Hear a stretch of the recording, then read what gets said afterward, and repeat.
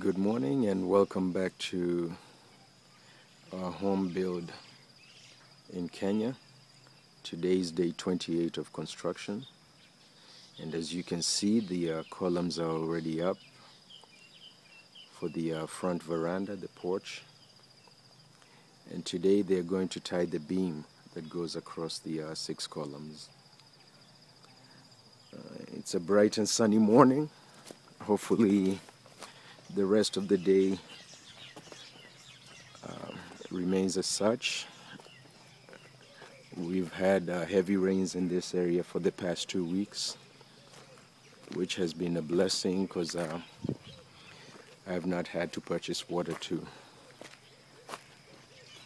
um, to go ahead and uh, cure the concrete. We are going to go into the house through the master bedroom. We've got a small veranda, the back of the master bedroom. And uh, that beam went up two days ago, still curing. This is the uh, master bedroom right here. As we walk in to the right, we have a walk-in closet.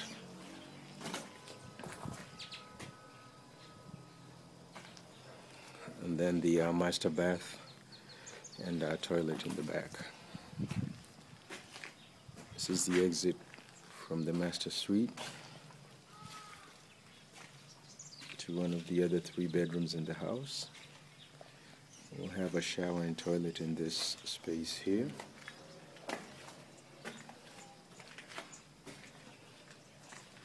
This is the bedroom.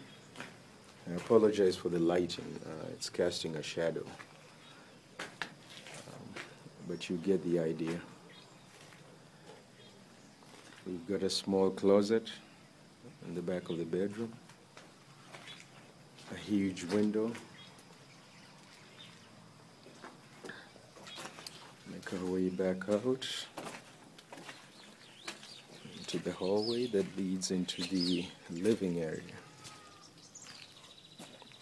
Is the living room slash dining room. We'll have a door that leads to the outside into an outdoor kitchen that's going to be in this space here for nyama choma. When we have fried foods, we'll cook that outside. This is the main kitchen. That door will lead to a small extension, uh, which will be a pantry slash storage area. As we make our way back this way, we'll make a quick left into the other two bedrooms. To the right, huge window, closet,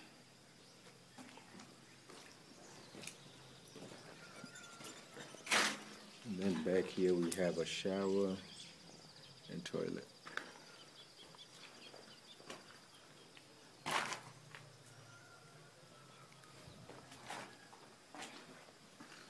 Let's make our way to the last bedroom here.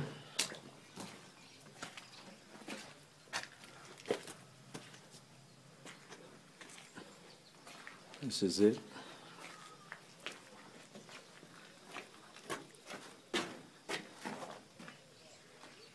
We'll have a closet space back here where the makeshift ladder is. And then a shower, toilet in this area.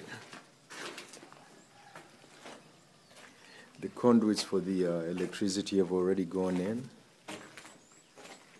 So once we roof the structure, we'll go ahead and start pulling the electrical wires.